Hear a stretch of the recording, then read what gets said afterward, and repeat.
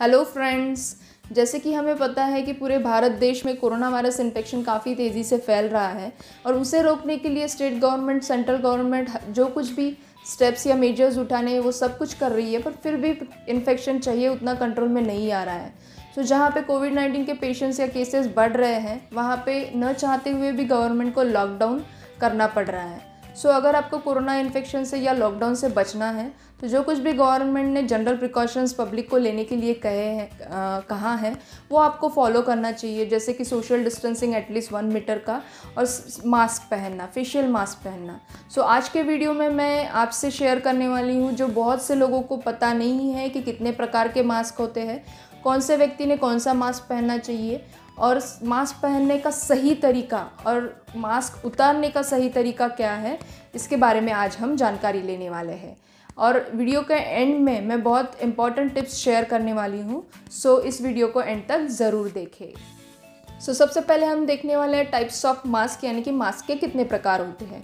Mask mainly तीन प्रकार के होते हैं फैब्रिक मास्क या फिर क्लॉथ मास्क या फिर कपड़े का मास्क सेकेंड है मेडिकल मास्क या फिर सर्जिकल मास्क और थर्ड है N ninety five mask so आज के वीडियो में हम बात करने वाले हैं फैब्रिक मास्क के बारे में.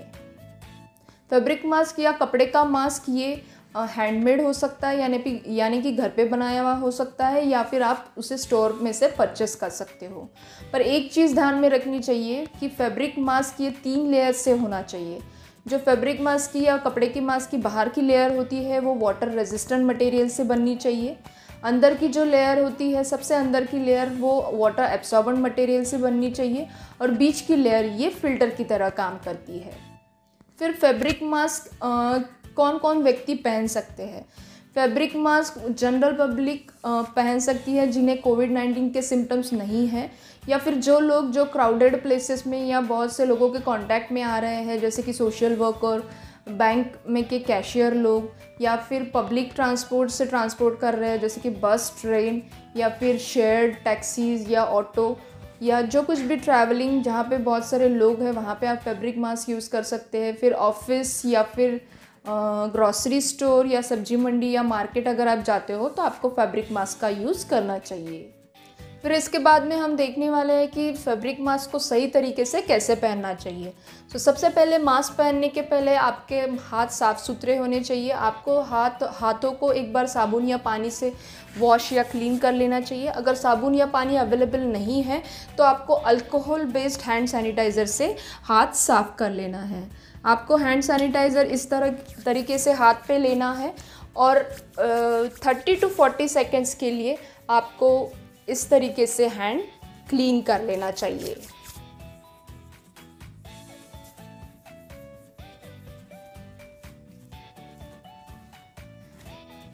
इस तरीके से हैंड्स क्लीन कर लेने के बाद आपको जो मास्क आप पहन, पहनने वाले हो, उसे आपको हाथ में लेना है और उसे अच्छे से देख लेना है कि वो मास्क कहीं डैमेज या गंदा तो नहीं है। आपको साफ़ सुथरा मास्क ही पहनना है। उसको इस तरीके से उठाने के बाद आपको मुँह को लगाना है और ये कंफर्म करना है कि मास्क जो आप लगा रहे हो वो आपकी नाक, मुँह और दाढ़ी की एरिया यानी कि चिन एरिया को सही तरीके से, पूरी तरीके से कवर कर रहा है और मास्क और फेस के बीच में कोई गैप नहीं है। एक बार मास्क पहनने के बाद आपको उसे कहीं पे भी टच नहीं करना है फ्रंट की तरफ़ तो बिल्कुल ही टच नहीं करना है। अगर इन केस आप टच करते हो तो उसकी वजह से कंटेमिनेशन हो सकता है। टच करते हो तो आपको वापस से हैंड सैनिटाइज़र से या साबुन या पानी से हैंड्स को क्लीन कर लेना है। फिर इसके बाद में हम देखने वाले हैं तो मास्क को हमें सही तरीके से कैसे निकालना चाहिए। जब भी आप मार्केट से घर आते हो तो बहुत से लोगों को आदत होती है कि वो पहले मास्क को हाथ लगा के मास्क को अलग कर लेते हैं।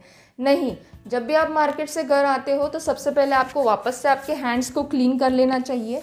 एक बार हैंड्स को अच्छी तरीके से क्लीन करने के बाद आपको सामने की तरफ़ झुकना है और जो मास्क के कान के पीछे के लुप्स है उसे आपको पकड़ना है और आपके फेस से अलग करना है।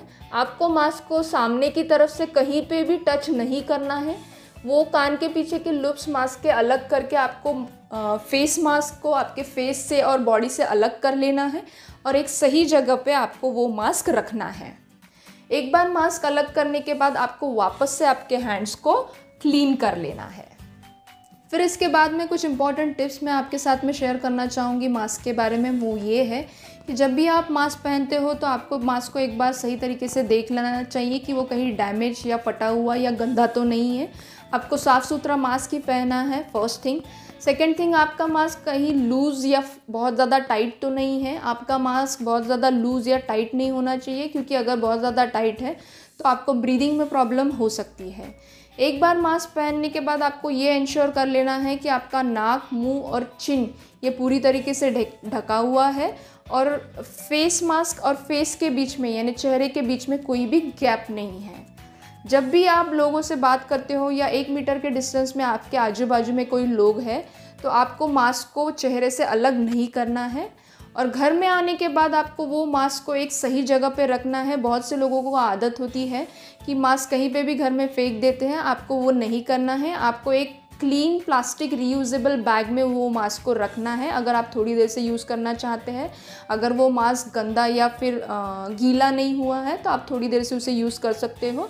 बट मेरी सलाह ये रहेगी कि आपको, आपके पास, हर व्यक्ति के पास कम से कम दो मास्क होने चाहिए। और हर मास्क कपड़े का मास्क दिन भर में एक बार वॉश होना चाहिए। वॉश करने के लिए आपको गर्म पानी और डिटर्जेंट और सोप का यूज़ करना चाहिए। उसे 15 से 20 मिनट के लिए डिटर्जेंट में भिगो के रखना है और फिर उसके बाद में वो मास्क को वॉश करके ड्राई कर लेना है। और एक कॉमन मिस्टेक जो बहुत से लोग कर रहे हैं वो ये है कि जब भी वो अपने करीबी दोस्त या पड़ोसी से बात कर रहे हैं तो ये सोच रहे हैं कि इन्हें तो इन्फेक्शन हो ही नहीं सकता है, क्योंकि ये तो कहीं बाहर निकल निकल ही नहीं रहे हैं।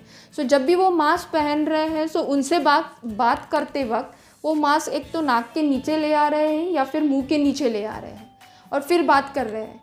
नहीं, आपको ये नहीं करना है क्योंकि उनसे बात करने के पहले अगर आप किसी व्यक्ति से बात करते हो और उनसे बात करते वक्त वो इन व्यक्ति अगर इन्फेक्टेड है और उनके मुँह में से अगर जो वायरसेस निकले हैं, जो कुछ भी ड्रॉपलेट्स हैं, वो अगर आपके गर्दन पे आए हैं तो जब भी आप मास्क गर्दन पे लेके आते हो और वापस से ये मास्क मुँह और नाक के ऊपर लेके आते हो तो वो वायरसेस वापस से आपके नाक और मुँह को आ सकते हैं।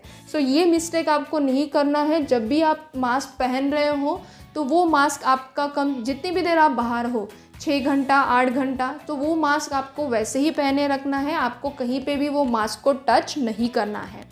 और जब भी आप मार्केट से घर आते हो अगर आपके घर में कोई बड़े बुज़ुर्ग है प्रेग्नेंट महिलाएँ हैं सो उनसे भी आपको एक दूरी बनाए रखना है कि इन केस अगर आपको इन्फेक्शन हुआ है तो उनको ये इन्फेक्शन होने के चांसेस कम रहेंगे।